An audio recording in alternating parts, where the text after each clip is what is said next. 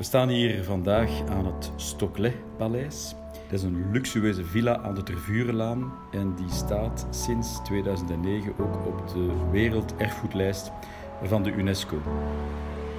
Het is namelijk een perfect voorbeeld van een Gesamtkunstwerk of de integratie van de kunsten in de architectuur. Architectuur, meubilair en de tuin vormen een onlosmakelijk geheel.